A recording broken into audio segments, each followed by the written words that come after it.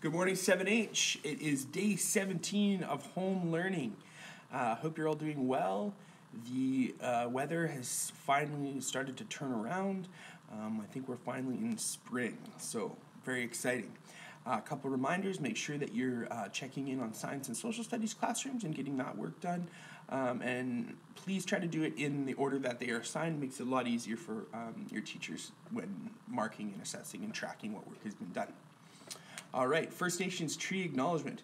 Blue Mart School is located on the original lands of the Anishinaabe, Cree, Oji-Cree, Dakota, and Dene people, and on the homeland of the Métis Nation. We respect the treaties that were made on these territories, we acknowledge the harms and mistakes of the past, and we dedicate ourselves to move forward in partnership with Indigenous communities in a spirit of reconciliation and collaboration.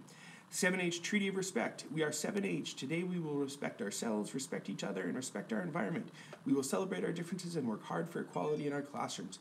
We aren't perfect. We can learn from the past, learn from our mistakes, and protect each other in the future. Think of others, talk kindly to ourselves, our classmates, our principals, our teachers, our EAs, our secretaries, our librarian, our custodians, and our students. Encourage, collaborate, include, stay organized, ask for help, offer help, be a role model, strive for a good uh, reputation, make someone's day better, leave our environment in better shape than how we found it. We are 7H already. So today in ELA, there's no new assignments in ELA. Uh, you're going to continue working on your biography if that's where you're at. If not, just keep working uh, away on those other assignments. Um, keep handing them in. Uh, put them in uh, the classrooms. Let me know that you finished them. And as I can, I will update that tracking sheet so that it is as up to date as possible. Uh, there is another paragraph editing mug today, so you can mark yesterday's mug and then work on today's mug.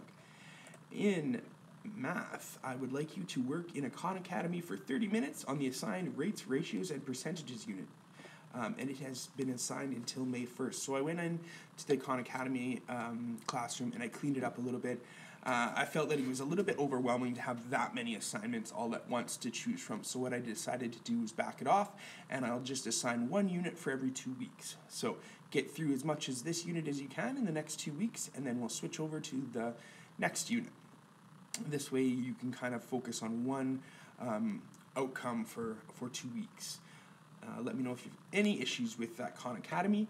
Uh, make sure you're part of the classroom, and then you should be able to see all of the assignments that we've um, that I've connected to your to your names to your accounts. Um, I think that that is everything that I need to mention to you today. Oh, uh, Viscom, just continue uh, taking pics of your found object color wheels. They're looking really, really great. So if you haven't done so, make sure you take care of that. Uh, if you're not not sure what I'm talking about, take a look at the Viscom Classroom Day 14. Um, it has a description of what I'm looking for there. All right, so today's question is I showed you what I was snacking on. Oh, looks crazy.